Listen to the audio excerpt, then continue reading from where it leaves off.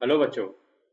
Problem कहता है the probability that at least one of the events A and B occurs is 0.6 and if a and b occur simultaneously with probability 0.3 then p a dash plus p b dash is equal to दो events में कम से कम एक का होने का probability 0.6 हमें गिवन है।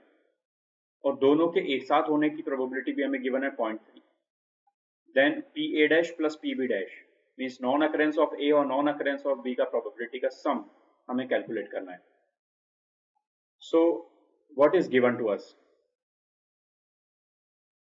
least one of the events A and B occurs means probability of A union B is given to us at 0.6 और दोनों के साइमल्टेनियसली होने का probability is P A intersection B जो कि हमें दिया हुआ है point three now since probability of A union B is equal to probability of A plus probability of B minus probability of A intersection B.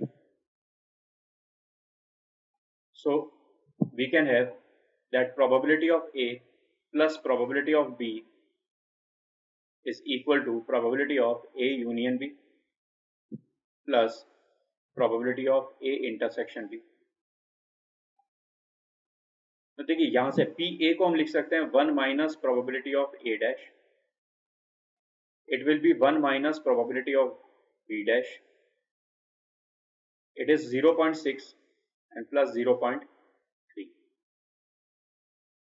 so P A dash plus P B dash, it is equal to 2 minus 0.9 which is equal to 1.1 So the final answer to this problem is option 3, 1.1. Hope you understood it well. Best of luck.